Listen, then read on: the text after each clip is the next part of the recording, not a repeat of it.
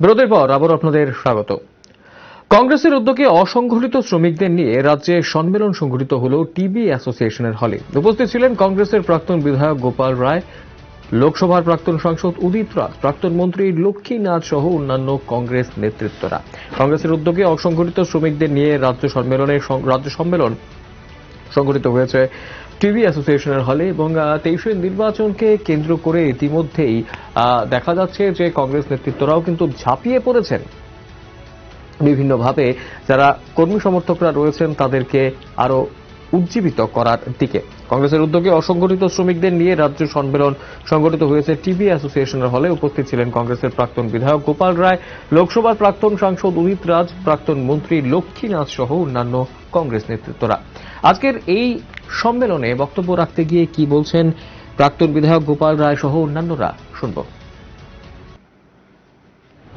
যে কংগ্রেসের একটা আনঅর্গানাইজ সেল আছে unorganised labour or employee cell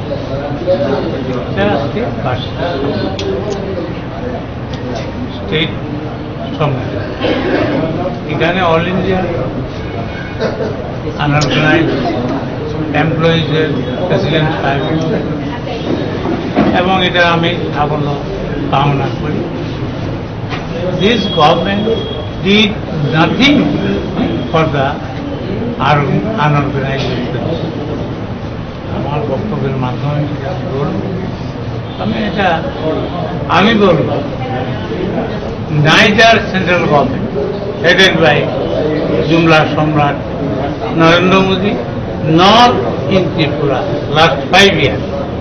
Unorganized employees are deprived and no step or no scheme has been taken by the central government or the state government for the survival of unemployed, uh, unorganized employees, people. This is the main I condemn the attitude of the central government as well as state government for not taking any scheme, any form. What do you say about this workshop? uh, unorganized workers in the country are more than 45 crores and as per government records there are 38 crores and total voters in the country are 97 crores 96 97 look at the bulk. The number of unorganized workers in the country, they are almost half of the voters in the country. And no salary, no fixed salary, no medical, no insurance, uh, no wages are permanent kind of thing. And this is a huge sector. And 93 to 94 percent workers are in unorganized sector. Only 7 percent are in organized, in organized sector. That means that is in trade union.